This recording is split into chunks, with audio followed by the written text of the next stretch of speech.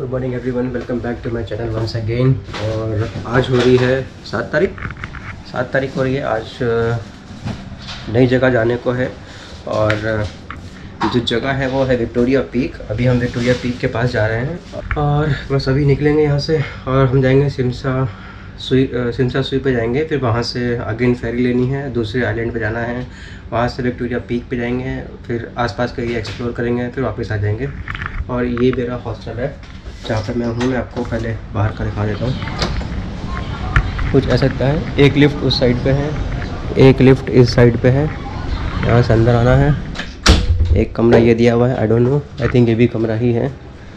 और ये आपका किचन काइंड ऑफ़ कह लो क्योंकि यहाँ पे कॉफ़ी वगैरह रखी है, बस इतना ही है, इससे ज़्यादा नहीं है। और ये जो है यूटिलिटी रूम है, ये मुझे मिला था। सी ये मेरा बेड था। ये मुझे, इसमें इसलिए रहना पड़ रहा है कि जो मैंने होटल बुक किया था, हॉस्टल बुक किया था, वो इन्हीं का दूसरा हॉस्टल था जो कि जो जो कि जॉर्डन मेट्रो स्टेशन के पास था। सो मैं वहाँ नहीं गया क्योंकि साथ में मेरे दो लोग और थे, इसलिए हमने यहाँ पे स्टे लिया। इनका तो प्रॉपर रूम है, मैं रूम दिखा देता हूँ। ये एक्चुअल रूम है जो आपको नॉर्मल मिलता है। तो ये देख लो भाई। सो ये वॉशरूम मिलेगा कुछ ऐसा। एक्चुअल में कमरा आपको इस काइंड जो ये अभी मैं रूम दिखा रहा हूँ, इस तरीके से मिलेगा। और वो टेम्प्रेरी था, क्योंकि कोई रूम अवेलेबल नहीं था, इसलिए मैंने लिया। और ये कॉमन वॉशरूम अभी तो मैं यहाँ पे हूँ। थोड़े से नज़ारे ले लो। अभी हम लोग अंदर से आई स्क्वायर ये आपका मॉल है। मोस्टली मॉल्स जो है इनके आपका मेट्रो के साथ में ही है। सो ये बाहर उसका आई एज का बना रखा है। ठीक ये जो पर्टिकुलर मॉल है, वो है आई स्क्वायर ठीक है? आई स्क्वायर सिमचा सू जो सिमचा सुई जो मेट्रो स्टेशन है, उसी में ही है। यहाँ पे मोस्टली आपको जो मॉल्स मिलेंगे ना, साथ में मिलेंगे मेट्रो स्टेशन के। और यहाँ जैसे ही आप एग्जिट करोगे तो एग्जिट करते ही आपको दिखेगा ये चंकिंग मेंशन देखो देख लो। ये चंकिंग मेंशन पूरा आपको लिटिल इंडिया बोला बोला जाता है तो यहाँ पे आपको सारे इंडियंस जितने भी हैं फ़ूड और बाकी सारी चीज़ें मिल जाएँगी। तो आप यहाँ पर ट्राई कर सकते हो अभी हम यहीं पे जा रहे हैं खाने के लिए। सो लैंडमार्क बहुत ईजी है आई स्क्वायर शॉपिंग मॉल ब्रह्मप्रदेश and after uh, getting out from the I square you just have to straight away go to mansion so अभी हम लोग जा रहे हैं अंदर देखते हैं।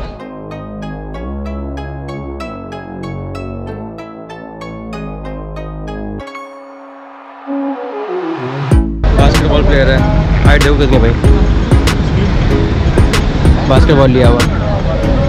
बहुत लंबी हाइट है।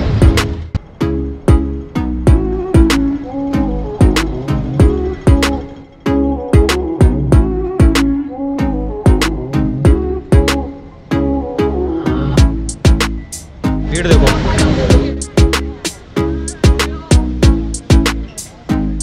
अंदर ढूंढेंगे इनको इसके बाद। ये एंट्री है एंट्री देख लो कुछ ऐसी। खाना क्या है? कुछ ट्राई करते भाई।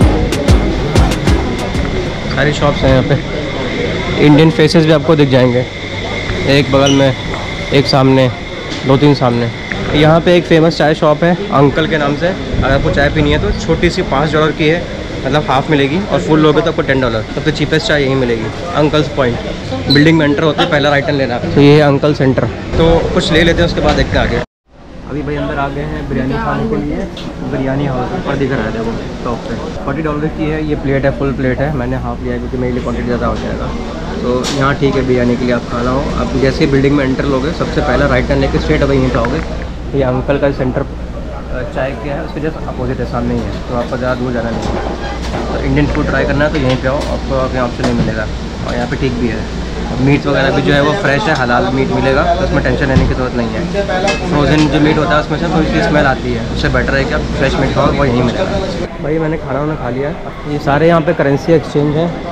सिम कार्ड आपको खाना यहाँ पर करेंसी एक्सचेंज सब कुछ मिल जाएगा। और बेस्ट रेट आपको करेंसी एक्सचेंज का वो यहीं मिलेगा। अभी देखो पाँच डॉलर की है यहाँ पे कोक है कैन सस्ती है प्लास्टिक बॉटल महँगी है। इस बेटर कि भाई कैन लो हमेशा। तो भाई अभी जिस जगह पर मैं खड़ा हूँ, हम लोग उधर से आए हैं उस साइड से। उधर से आपका इधर फ्रंट का पड़ता है एंड है वो उसका शोर पार्ट है। और इस शोर पर जाने के बाद सर राइट हैंड साइड पे हमारा बैग मिलेगा उसके लिए फेरी के लिए, जो आपको फेरी लेके जाना है। और पाँच डॉलर की फेरी है, आपको आराम से मिल जाएगा। अभी मैं डायरेक्शन दिखा दूँगा कैसे कैसे है। एकदम पीछे रास्ता दिया हुआ है। वहाँ से स्ट्रेट आपको इधर आना है, यहाँ पर खड़े हैं, उसके बाद जो सामने जाओगे, वहाँ से तो राइट लेना है तो करी मिल जाएगी आपको।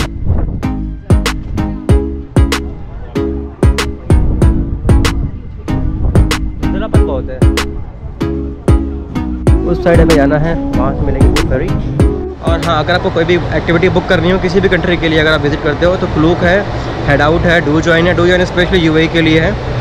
और गेट योर गाइड सो इन सब जगहों से आप एक्टिविटी बुक करके डायरेक्टली जा सकते हो। और मेक श्योर sure भाई एक्टिविटी कभी भी बुक करो ना।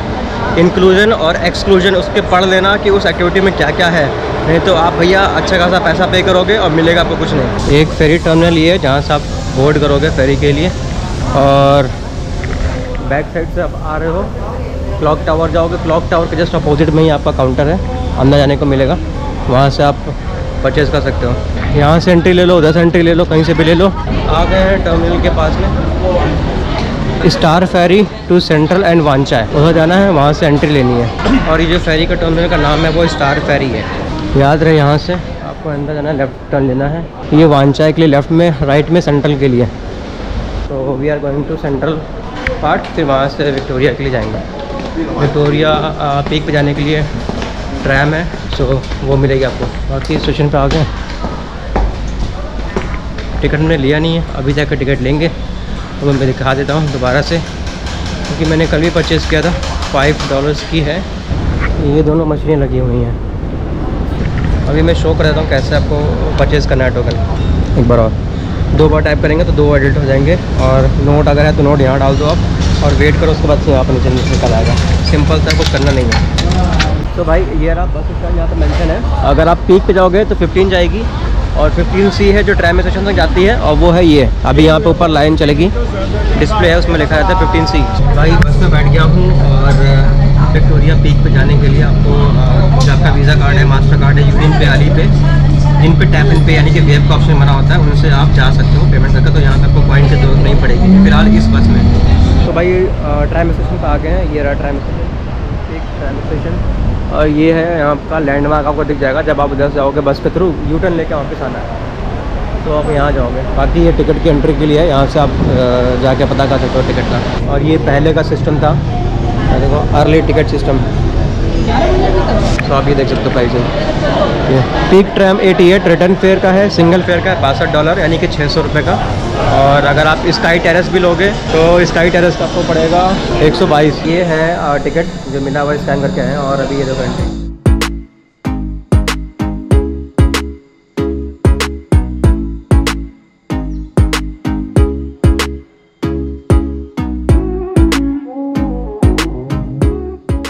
चलते हैं, आगे देखते हैं। हमने लिया है पिक ट्रैम का तो रिटर्न फेयर जो है वो एटी एट डॉलर यानी कि आठ सौ अस्सी रुपये आपके लगेंगे आना जाना। और आप ऊपर जाके जो भी आपकी लास्ट ट्रेन होगी, अगर आपको वहाँ पे स्टे करना है तो आप वहाँ पे स्टे कर सकते हो थोड़ी देर के लिए, क्योंकि आपको ऊपर पीक पे भी जाना है। तो ट्रैम स्टार्ट हो चुकी है भाई मिस कर दिया पॉइंट नहीं मिल पाया।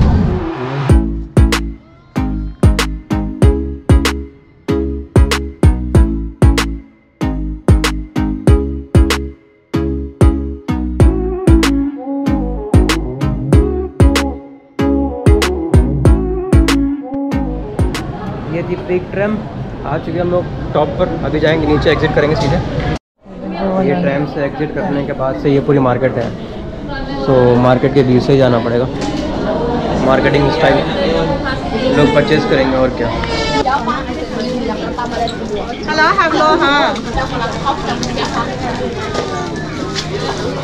एक्सक्यूज़ मी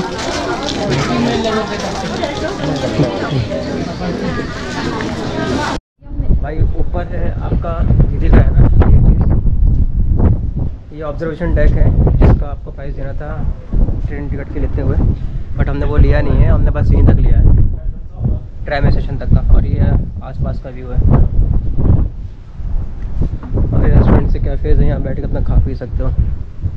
ये लॉयंस पवेलियन लुकआउट है, आगे की तरफ़। तो लॉयन पवेलियन लुकआउट की तरफ़ जा रहे हैं, देखते हैं। लॉयंस पवेलियन लुकआउट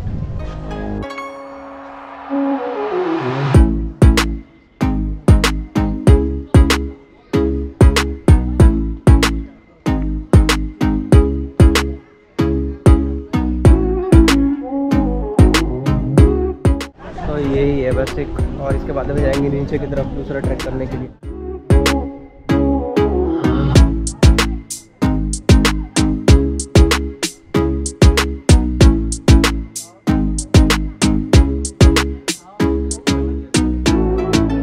बहुत लोग हैं हुए लोग।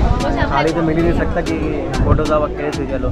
जो ट्रेल्स हैं, उनका जो ट्रेल का है, वो अदर साइड पे है तो ये अभी ट्रेल नहीं है, ये लॉयंस पवेलियन डेक था देखने के लिए सो अभी चलेंगे देखेंगे उधर।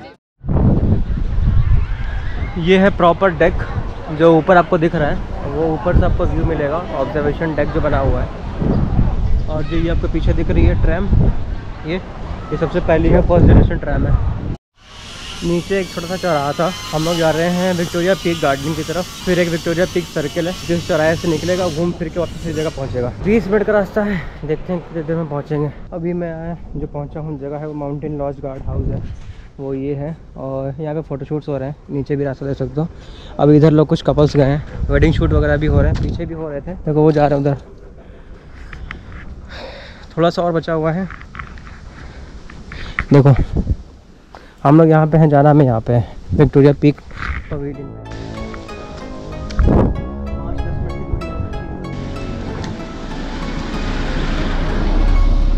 तो भाई हम लोग अभी देखो इस जगह पे हैं।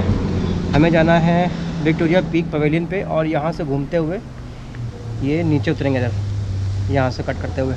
सो व्यू देख लो कैसा है। अगर आप मलेशिया जाते हो, मलेशिया में पेनांग हिल स्टेशन है, वहाँ पर भी फनीकुलर ट्रेन चलती है सेम ये जो ट्रेन हमने यूज़ की थी।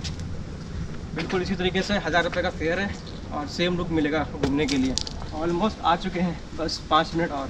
ये पैसेज जो बना हुआ है, ये सीधे नीचे जाएगा गार्डन एरिया में, जहाँ पे फ़ोटो शूट के लिए मैंने आपको पहले दिखाया था।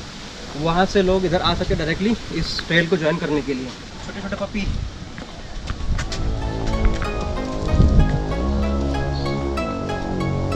this is all Victoria Peak garden वहाँ पे आप देख सकते हो एक मैरिज वेडिंग शूट हो रहा है। ऐसे ही यहाँ पे ना अच्छे खासे स्पॉट्स बने हुए मैरिज उसके लिए वेडिंग शूट्स के लिए।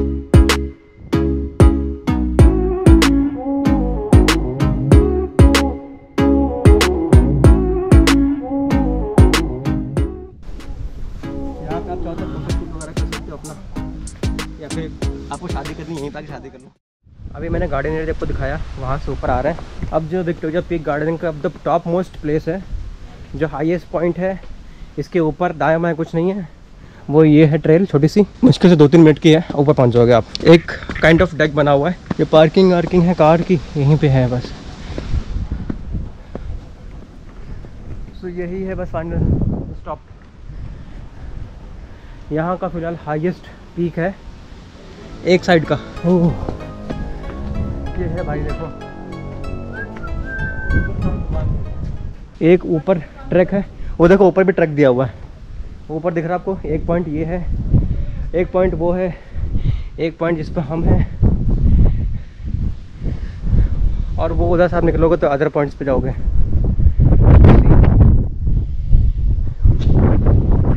एक नंबर है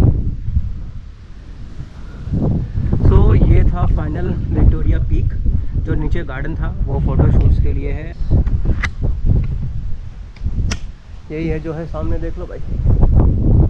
और एक फ़ूड शॉप भी है मतलब ग्रॉसरी शॉप है आप जाओ तो ले सकते हो जो समझ लेना है। सो so, अभी देखो जो हमने व्यू पॉइंट वहाँ पे दिखाया था वहाँ से आ, लेफ़्ट में कट दिया था जो कि सीधा अभी वहाँ पे अगर दिख रहा है वहाँ से सीधा ये पॉइंट है व्यू पॉइंट है लुकआउट पॉइंट जैसे बोलते हैं यहाँ पे।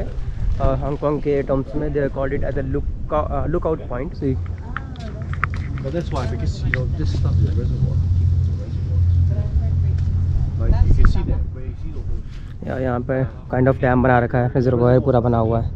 एक आइलैंड ये है आपको यहाँ व्यू पॉइंट मिलेगा। बाकी वहाँ शिप्स हैं छोटे छोटे आइलैंड्स और भी हैं। और यस नीचे का व्यू अच्छा आता है लो आप देख लो भाई जहाँ से आए थे कैसे। ट्रेल्स बना रखी हैं। नीट क्लीन कोई गंदगी नहीं कुछ भी नहीं है सब कुछ बढ़िया है। सो ऐसी जगहों पे आने में भी अच्छा लगता है। आप भाई एक अपने देश में देख लो। ऐसा नहीं कि हम लोग क्लीन नहीं करते हैं। गवर्नमेंट नहीं पे काम करती है। उत्तराखंड चले जाओ, हिमाचल प्रदेश चले जाओ। जितना ही लोगों का बोल लो, वहाँ के जो लोकल्स हैं, वो पूरी कोशिश करते हैं भाई की गंदगी ना फैले। बट वही है ना टूरिस्ट आते हैं। कुछ भाई थोड़े से रिस्पॉन्सिबल होते हैं तो वो अब इवन कब तक कूड़ा अपने पास ही रखते हैं, नहीं फेंकते हैं। और फेंकेंगे विथ लेटर पॉइंट फेंकेंगे। बट यहाँ पे देख लो, कहीं पे एक भी मतलब कूड़ा नहीं है एक भी पैकेट नहीं है सिंगल पैकेट यार, सोचने वाली बात है। हमारे यहाँ तो फिर भी लोग इतने मिल जाते हैं, यहाँ पे तो लोग भी नहीं है फेंक भी दोगे तो कोई देखने वाला नहीं है। But still so much clean garden area जो मैंने आपको गार्डन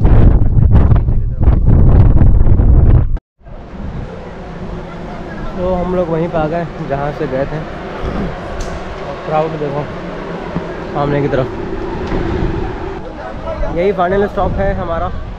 जो ट्रैम का था, जहाँ पे भी हम लोग आए थे।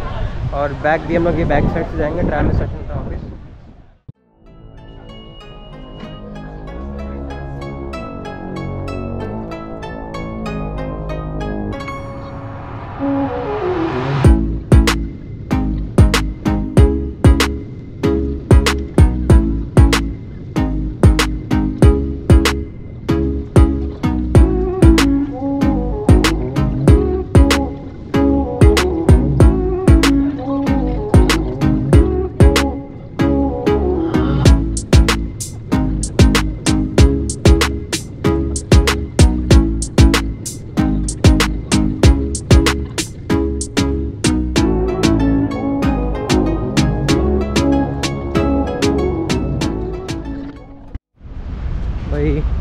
हम लोग फेरी के पास पहुँच चुके हैं। बस व्यू देखो, एक नंबर है